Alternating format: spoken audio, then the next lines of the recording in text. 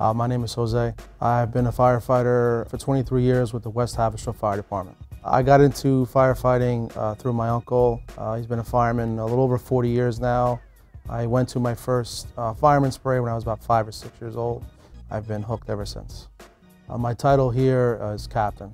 I'm in charge of all the purchasing for uh, this company. Uh, anything that we need to buy, you know, to outfit the members and or the apparatus, I'm in charge of that.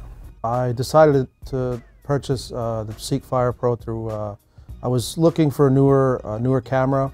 Uh, it's something that was a little more affordable, uh, lightweight, a little uh, less bulkier, and I came across Seek through social media. I contacted my salesman from MES, and he set everything up for me. I would definitely recommend Seek cameras to other departments. This particular camera with Seek is very affordable, lightweight, maintenance free. The clarity on the screen is, is, is awesome. I'm utilizing uh, Seek cameras to uh, outfit every self-contained breathing apparatus on the apparatus. Uh, everyone will have a camera attached to it.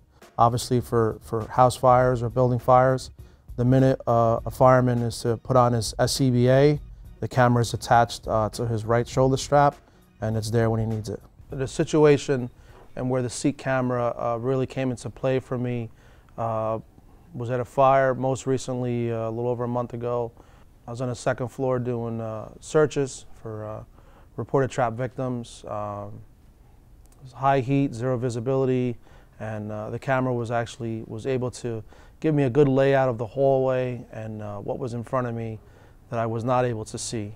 It actually sped up my process in searching the hallway and searching rooms, room after room. Um, to confirm if you know people were or were not trapped. Uh, the importance of, of having a camera is it's well needed. Uh, you know, life before uh, Seek, you know, we have other cameras and usually the, the officer in charge carries the camera, but there are times where crews are split into uh, individual uh, smaller crews to you know, do search and rescue or whatever it may be. Uh, and when the officer is the only person that has a camera, that officer has to break from what he's doing to assist another crew and using or utilizing the camera. So with uh, every member having a camera now on their shoulder strap, basically, uh, the officer can stay uh, with what he's doing, and that crew, two-man, two-person or three-person crew, they all have cameras and they can all use it to see, you know, what's going on in front of them. Moving forward, I envision Seek being utilized so that every SCBA on all three of my apparatus uh, have a camera on the SCBA. You know, it's there when they need it. So every fireman will have it. Just like every fireman has a flashlight, a radio, now every fireman will have a, a camera. So when it's in, when they need it, it's right there on their shoulder.